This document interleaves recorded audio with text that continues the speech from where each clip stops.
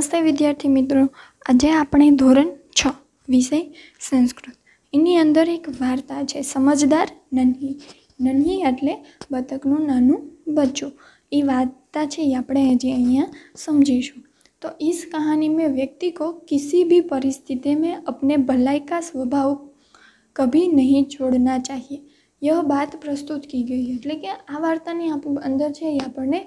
ગમે એવી પરિસ્થિતિ આવે તો કોઈ પણ વ્યક્તિએ એની ભલાઈ કરવાનો સ્વભાવ છે એ ક્યારેય છોડવો જોઈએ નહીં. તો એ વાત છે, અહીંયા કઈ રીતે આપણને વાર્તા દ્વારા સમજાવવામાં આવે છે એ આપણે હવે સમજીએ. નન્હી બતક, તટ પર આવી તો ઉસને દેખા કી એક બીચું દલદલ મેં ફસાહે. એટલે નાની બતક છે એ નદી કિનારે આવી તો એણે જોયું કે એક વેચી છે એ આ દલદલની અંદર છે એ ફસાઈ ગયેલો છે बिच्छू ने नन्ही से प्रार्थना की बहन मुझे बचा लो नन्ही को उस पर दया आ गई उसने बिच्छू को दलदल से उठाकर सूखे स्थान पर रख दिया એટલે વા વીછીએ છે એ બતક પાસે પ્રાર્થના કરી કે મને અહીંથી બચાવો એટલે નનીને બતકને એના ઉપર દયા આવી અને એને એને બચાવી અને એક સૂકું સ્થાન હતું એના ઉપર એને રાખી દીધું बिच्छू को शैतानी सूझी उसने नन्ही को डंख मार दिया એટલે વીછીને એક શેતાની કરી અને નન્હીને બતકને એને બચાવી હતી તો પણ એને શું કર્યું એને ડંખ માર્યો नन्ही पीड़ा से तड़प उठी उसने बिच्छू से पूछा क्यों भाई तुमने मुझे डंक क्यों मारा એટલે ડંગ બતકને છે એ થોડીક પીડા થઈ એટલે બતકે એને વીછીને પૂછ્યું કે ભાઈ તમે મને ડંખ કેમ માર્યો बिच्छू लापरवाही से बोला क्या करूँ डंक मेरा डंक मारना मेरा स्वभाव है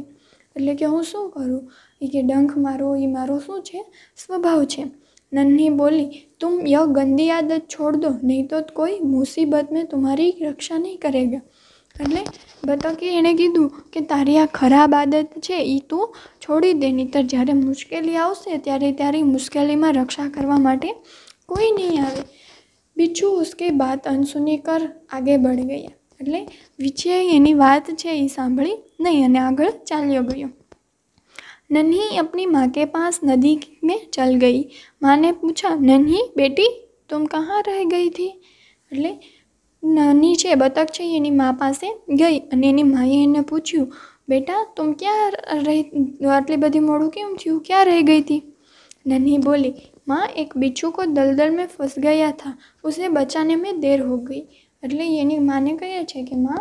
એક વીછી છે એ દલદલની અંદર ફસાઈ ગયો હતો એને બચાવવા માટે છે એ મોડું થઈ ગયું माँ खुश होकर बोली बेटी यह तुमने बहुत अच्छा काम किया એટલે એની માં છે એ ખુશ થઈ જાય છે અને એને શાબાશી આપે છે અને કહે છે કે આ તે છે એ બહુ જ સારું કામ કર્યું છે નન્હી બો નન્હા બોલા લેકિન બદલે મેં उसने मुझे ડંખ માર દિયા એટલે નન્હીએ કીધું કે એણે મને બદલામાં શું આપ્યું કર્યું તો કે ડંખ માર્યો माँ बोली बिच्छू अपनी गंदी आदत का गुलाम है तुम उसे चाहे कितनी बार बचा लो वह बार बार डंक मारता रहेगा એટલે એની માએ એને કીધું કે વીછી છે એની આ ખરાબ આદત છે એને તું ગમે એટલી વાર બચાવીશ તને વારંવાર ડંખ મારતો રહેશે નન્હી બોલી माँ मैं उसे उसकी गंदी आदत छुड़ा कर रहूँगी એટલે બી બતક કહે છે કે માં હું એની આવી ખરાબ આદત છે એ છોડાવીને રહીશ कुछ दिन बाद बिच्छू के प्राण पुनः संकट में पड़ गए એટલે થોડા દિવસ બાદ ફરીવાર છે અહીંયા વીછીનું પ્રાણ છે એ સંકટમાં આવ્યા એટલે કે મુશ્કેલીમાં આવ્યા इस बार वह पानी की धार में जा गिरा और डूबने की डूबने उतरने लगा એટલે આ જ વખતે એ પાણીની ધારમાંથી નીચેની તરફ છે એ ડૂબવા માંડ્યો હતો મોત સામને દેખકર બિચ્છુ કો નન્હી કી યાદ આવી એટલે મૃત્યુને સામે જોઈ અને વેચીને છે એ આ બતકની યાદ આવી वह नन्ही को पुकारने लगा नन्ही ने उसकी करुण पुकार सुन ली वह झटपट बिच्छू के पास गई साहस से उसके मन में विचार आया जब मैं इस गंदे स्वभाव वाले बिच्छू को नहीं बताऊं बचाऊंगी એટલે નન્હી વીછીએ છે એને અવાજ કર્યો એટલે નન્હી છે એનો અવાજ સાંભળી અને ફટાફટ વીછીની પાસે આવી ગઈ પરંતુ એને એક વિચાર આવ્યો કે આવા ગંદા સ્વભાવવાળા બિચ્છુને હું નહીં બચાવું बिच्छू गिड़गिड़ाने लगा बहन मुझ पर दया करो नन्ही का मन डोल गया उसने सोचा हो सकता है इसे अपनी गलती આદત છોડી હો એટલે પીછી છે એના માટે ગડગડાવવા લાગ્યો કે ના મને બચાવી લ્યો બચાવી લ્યો એમ તો નન્હીને એમ થયું કે કદાચ કે આને એની આ ખરાબ આદત છે એ છોડી દીધી હોય नन्ही ने बिच्छू को दोबारा जीवन दान दिया बिच्छू अपने स्वभाव के अनुसार उसे डंक मारने के लिए आगे बढ़ा नन्ही उसका इरादा समझ गई वह मुस्कुरा कर बोली बिच्छू भाई ठीक क्यों गए ठीक क्यों गए डंक मारो એટલે પીછું છે એના સ્વભાવ અનુસાર છે એ ફરીવાર છે યા નન્હીને ડંખ મારવા માટે આગળ વધ્યો પરંતુ નન્હી છે એનો ઈરાદો છે એ સમજી ગઈ અને હસવા લાગી અને કીધું કે તમે ઊભા કેમ રહી ગયા ડંખ મારો બિચ્છુ શર્મ છે પાની પાની હો ગયા વહ ખિસકી સીખિયા કર બોલા બહેન એક બાત બતાવ मैंने सदा तुम्हारे साथ विश्वासघात किया। फिर भी तुमने मेरे साथ भलाई ही क्यों कैसा भलाई ही की? ऐसा क्यों? अरे बिछू जे, ये कहे कहे जे कि मैं तो तुम्हारे तारी साथ हमेशा ये के विश्वासघात करो तो ही। तुम्हारी साथ, तू तु मने केम अभी रीते मारा ऊपर भलाई करे छो। के मैं एवं करे नहीं बोली। भलाई करना मेरा स्वभाव है। मैंने तुमसे बदला लेने के लिए अपनी अच्छी आदत क्यों छोड़ दूँ? એટલે